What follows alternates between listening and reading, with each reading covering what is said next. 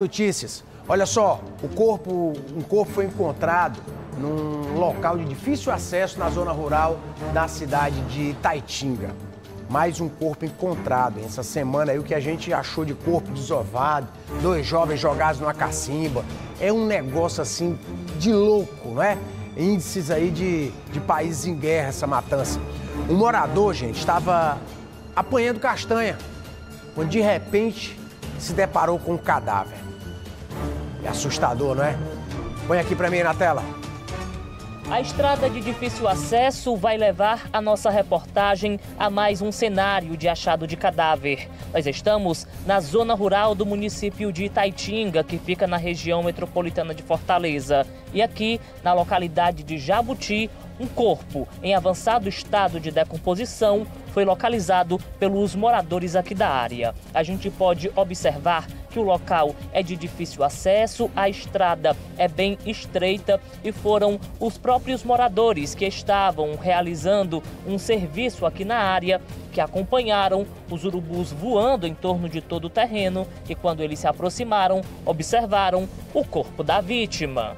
Após percorrer um quilômetro, a reportagem da TV Cidade chega no local onde o corpo foi encontrado. E aqui no cenário da ocorrência, a gente já localiza uma equipe do policiamento ostensivo da primeira companhia do 25º Batalhão e também a polícia científica que já está iniciando os primeiros trabalhos aqui no cenário de achado de cadáver. O corpo está em um ponto de difícil acesso, existe uma vala e logo em seguida a gente pode observar que tem um cajueiro e é exatamente naquele local onde o corpo foi avistado por uma pessoa que estava apanhando castanha nesse trecho aqui da cidade de Itaitinga. A gente pode observar que o terreno ele é bastante acidentado, bem amplo e existem dois açudes aqui nas proximidades. Ou seja, só quem tem acesso a esse espaço é quem conhece muito bem essa região. Mas, segundo os moradores, a pessoa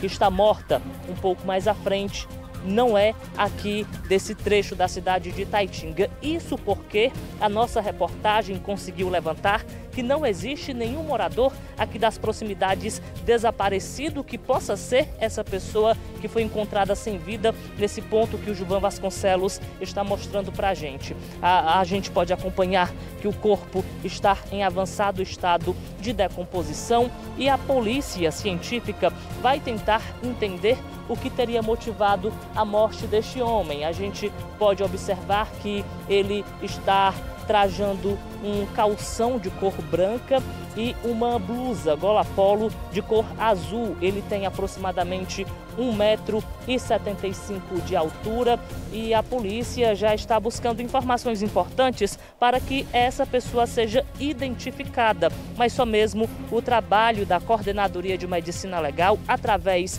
de uma necrópsia, poderá apontar o que de fato teria acontecido nesse cenário, que por sinal é um ponto onde a natureza se destaca, mas que infelizmente tornou-se palco de uma ocorrência de achado de cadáver.